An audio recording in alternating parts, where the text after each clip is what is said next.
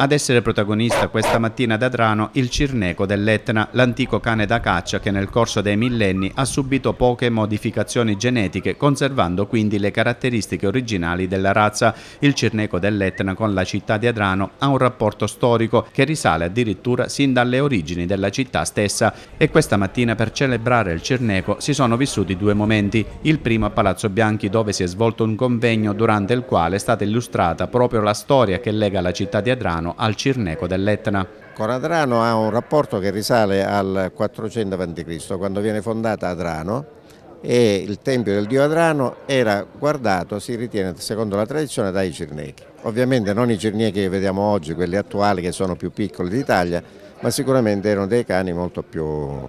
eh, più importanti, anche più fisicamente alti, più alti dei molossi eh, simile a quei cani che eh, ora ci sono per esempio nei, nelle nazioni spagnole, i Podenco che sono tutti alti, sono dei cani ben messi.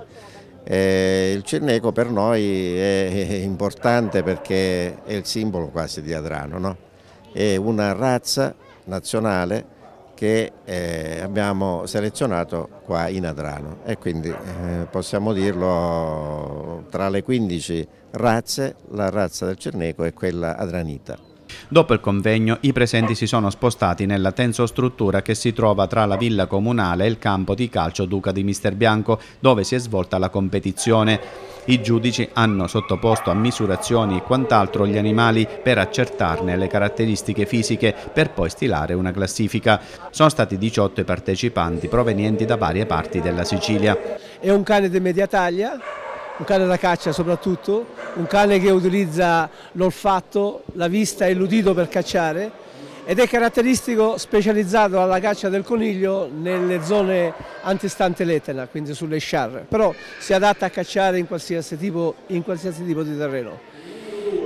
Ed è classificato come cane primitivo proprio perché non c'è stata una selezione come avviene per tutte le altre razze da parte dell'uomo che attraverso accoppiamenti seleziona un tipo, un progetto che l'uomo ha in mente di realizzare. Qui è stata la natura che l'ha selezionato in questa maniera,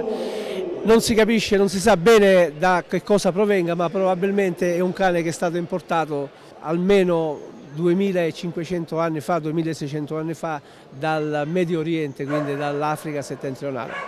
E siccome è un cane primitivo, se, se è tenuto in posti dove non vede molte persone e non viene socializzato, è un cane di, con un carattere un po' come dire, eh, timido o quasi eh, scontroso. Se invece viene, se invece viene tenuto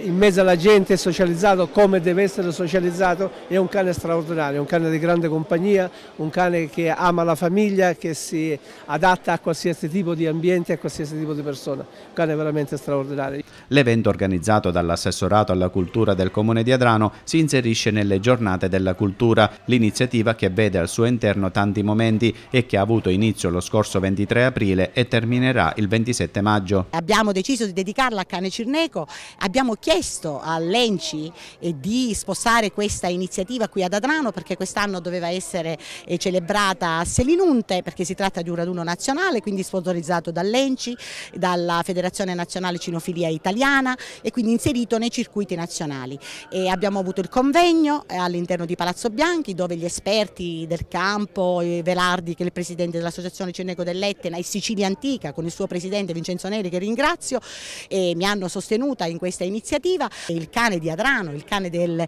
che custodiva, ci racconta la storia, il tempo del dio Adranon, nel cane il miglior amico dell'uomo e chi come me ama gli animali e ancora di più oggi gioisce per questa bellissima iniziativa con la presenza di tutti questi animali che rappresentano peraltro un bene eh, immateriale eh, assieme a tanti altri eh, della regione Sicilia e quindi rappresentano l'identità siciliana, l'identità eh, adranita. Quindi viva il Cirneco, viva Adrano.